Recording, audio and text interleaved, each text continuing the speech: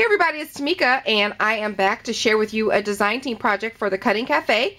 And uh, this week's design team challenge is surrounding butterflies. I use the butterfly shaped card set and social butterfly.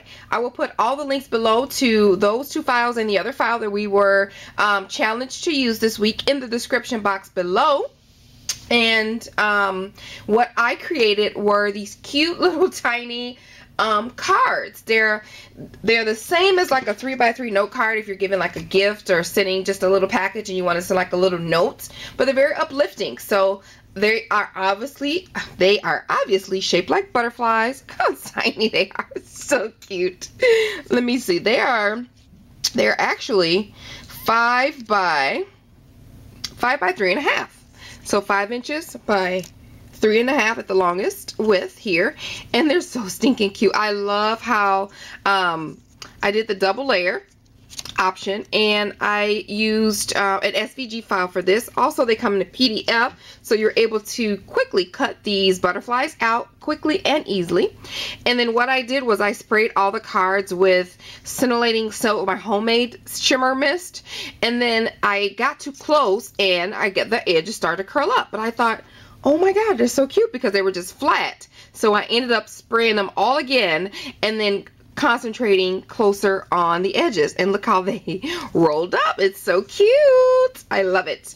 I used um, a paper from Colorbok called uh, I think it's homespun I believe. Um, very cute um, kind of vintage vintage um, papers nice colors so I thought it went perfectly. I used craft cardstock as my base. And on the inside I have this music sheet that I layered on here. And I just use wet adhesive for that. And then on the front, like I said, double layers. And this happens to be a butterfly sheet of paper. And then I also use a sentiment from the collection. I cut it out. I cut a banner out first on the um, cardstock. And then I printed it out on vellum, the sentiments, and this says spread your spread your wings and fly. And then I used two tiny flat back pearls.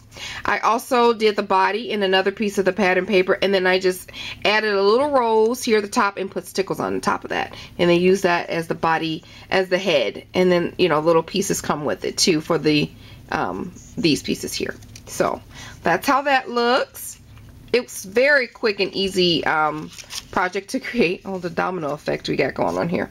So the second one here says Butterfly Kisses, and I used a green um, flower instead. Love the shimmer on here. I love this little banner, banner pennant. That's the inside. And then this one is Let Your Dreams Take Flight cute, cute. I used the pink one here with some stickles. That one. I love how those edges curl. Those are so stinking cute. And then last one, it's more sentiments, but I just use these for a little something just for you. And it's the green flower there. Again, with the little banner pennant, everything. That's the inside, the back. So, so, so pretty. Very quick and easy. And you can pop these out in multitudes and then send them. Uh, it also comes with an envelope. So you can, um, once you get done making the little cards, pop them in an envelope. You can make it all flat, mail it out with your little package, and you're good to go. So be sure to check out the links in the description box.